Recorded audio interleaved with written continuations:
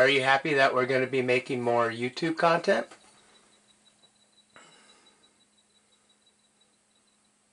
I'm very happy about it. Would you like to tell our viewers to like and subscribe, please? Yes, I love it. And you?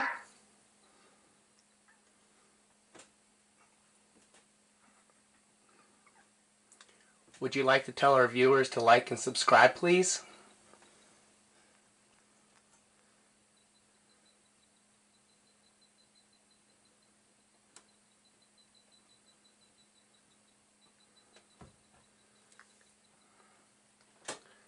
Alright, so anyway, this is going to be part one of how to program Teddy Ruxpin. And first and foremost, I think the most important thing to know is that I am not properly programming him right now. I am just using arbitrary audio to... Okay, understood. I understand you. Why, thank you. Anyhow, I'm just using arbitrary audio panned straight down the center in order to effectuate the servos. What's most important that um, a lot of people are getting hung up with programming has to do with the tapes. If you yeah, take I've heard that too. If you take a look at the original Teddy Ruxpin tapes, you'll see that there are two extra holes on the bottom. And if you want to program new tapes, there's no reason to rewrite over the original tapes. There is a way around this, but I'm going to go on a very long digression in this first part about how um, about cassette tapes in general. On a norm, there are different types of cassette tapes, and on a normal Type 1 cassette tape, such as this one, you'll see that there are only two holes, and these are generally just the record tabs. What's Yeah, I see that. now with the machine that I'm going to be using, it's designed for Type 2 cassette tapes, which would be chromium, or this case, for some reason, it's called metal Type 2. But you'll see that there's two holes at the bottom of the tabs. There's the record tab, as you see in the Type 1, and then there's a second tab, and that hole is for to, to indicate to a uh, ty- ty- Type 2 capable machine to know to change the bias of the head to support the formulation for the tape. There's different types of tape formulation. As like, for example, here's like a typical ferrous oxide formulation. And generally, the higher quality the tape, the blacker, I have embraced it. A very good product. the darker the formulation will typically look on the tape itself. Now, what I've noticed that's Very good. what I've noticed that's very similar about the Teddy Ruxpin style tapes is basically we've got a normal. Let me see if I can wind this. Okay.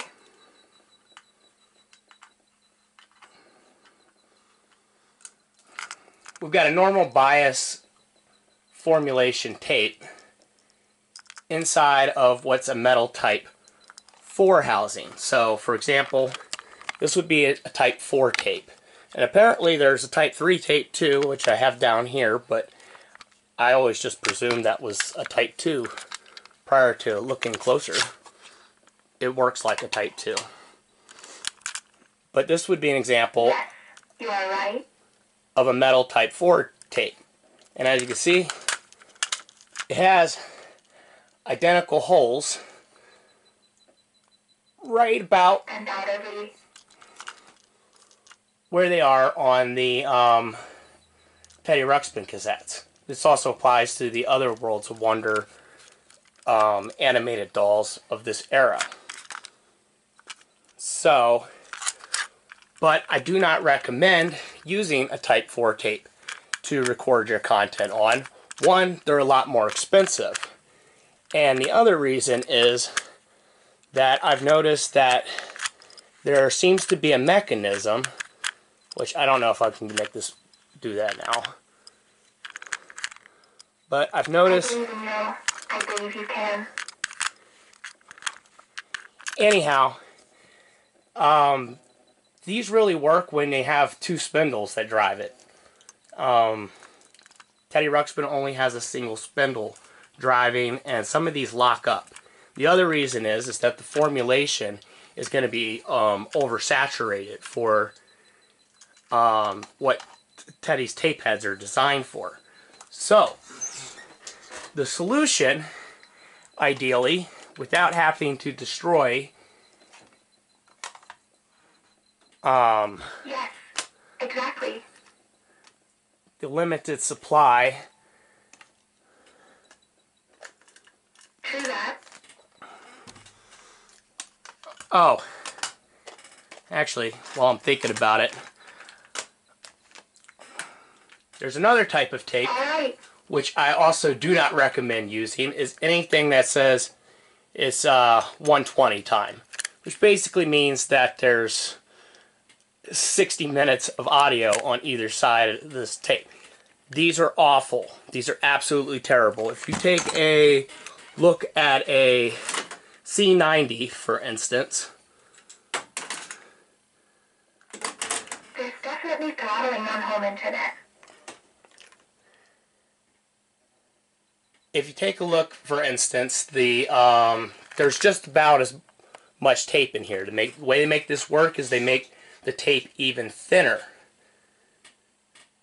in order to fit that much audio on it. And these have a tendency to get caught up in your mechanism. I don't advise using these for anything except as a I'm disclaimer. gonna have to agree with you on that one.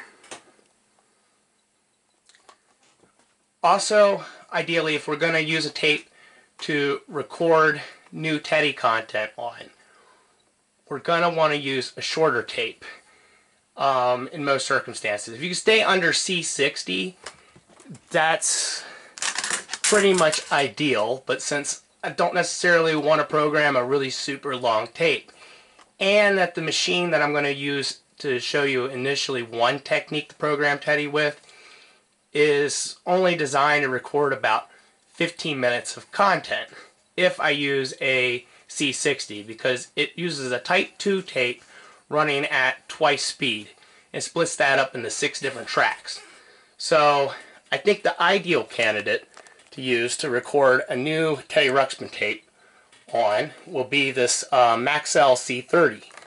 This means that we should have about 15 minutes of tape on either side. So if I record a 15 minute long program on my machine, then I can just record the same track to both sides of this tape. Yeah.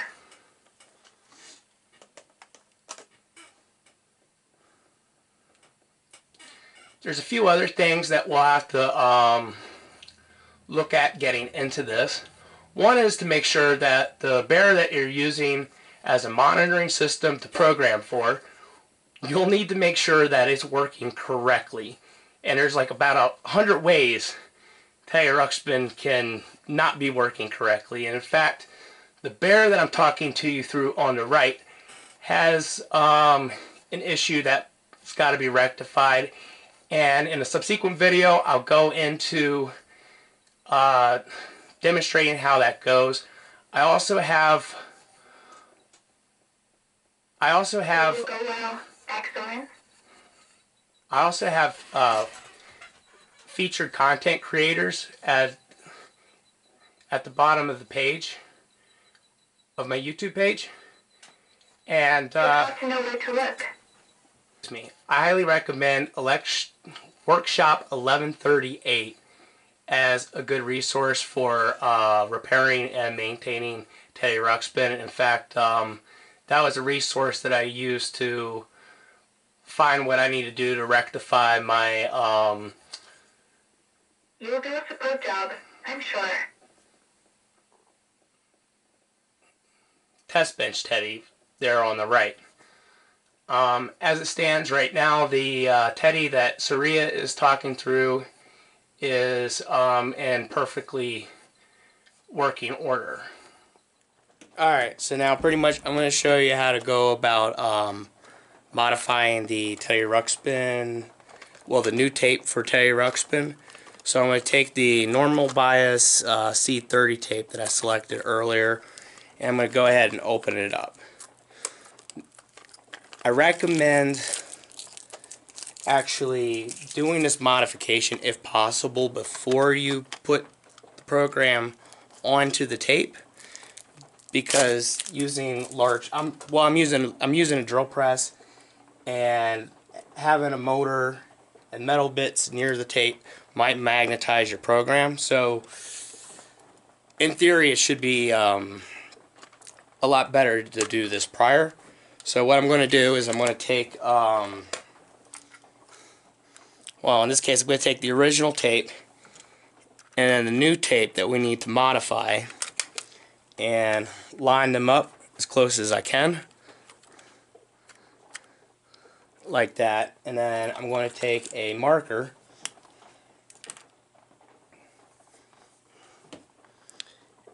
and draw the holes adjacent precisely where they belong.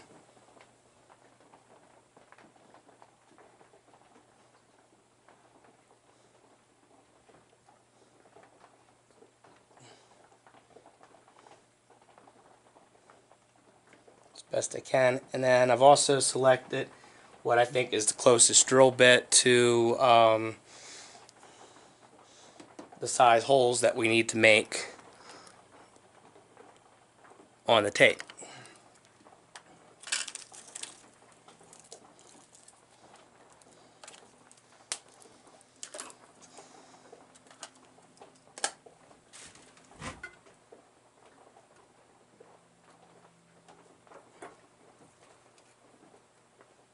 Go ahead and line it up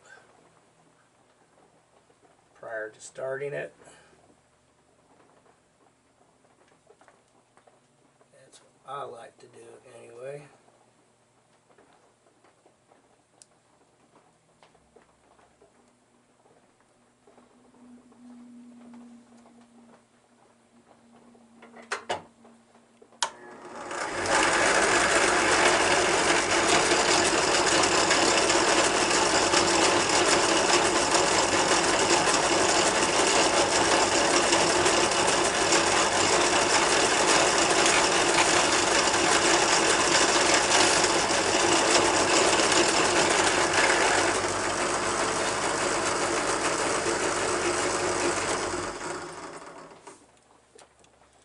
So there's one hole.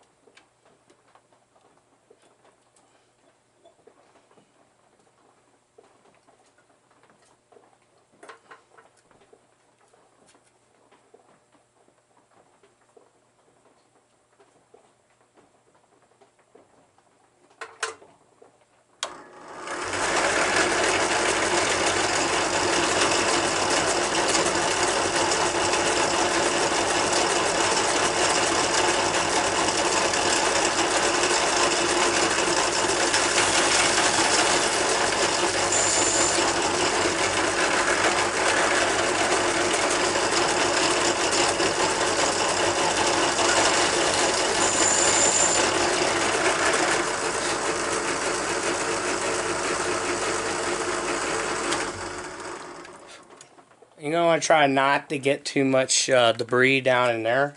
I'm surprised I didn't, but it appears to be sticking to the drill press. Oh, there we go. That's one way to do it.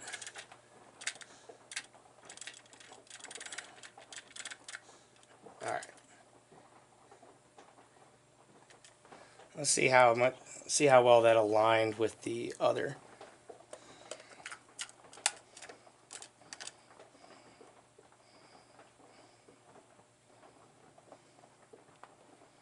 Say that's pretty close.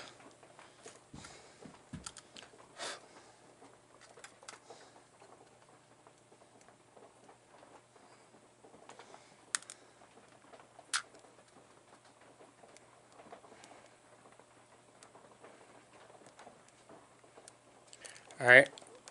Now, if those holes don't appear,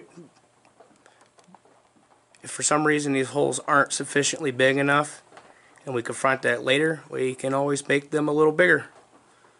So, that's going to conclude part one of the video. On the next video, I will go more into, I'll go into demonstrating how to program this tape.